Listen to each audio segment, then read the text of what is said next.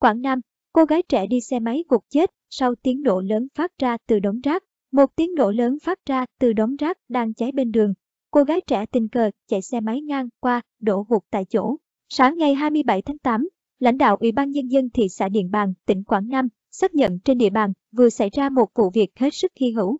Theo đó, vào khoảng 8 giờ 30 phút sáng cùng ngày, một người dân nào đó đốt đống rác ở bên đường DT 608 thuộc xã Điện Minh, thị xã Điện Bàn.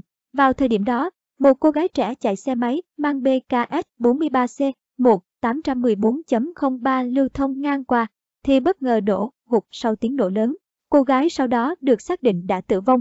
Lãnh đạo Ủy ban Nhân dân thị xã Điện Bàn nhận định rất có thể bên trong đống rác mà người dân nào đó đốt có quả mìn còn sót lại sau chiến tranh hoặc có vật liệu nổ nên phát ra tiếng nổ lớn và khiến một cô gái tử vong như vậy. Sau khi vụ việc xảy ra, các cơ quan chức năng của thị xã Điện Bàn nhanh chóng có mặt phong tỏa hiện trường, điều tra nguyên nhân vụ việc.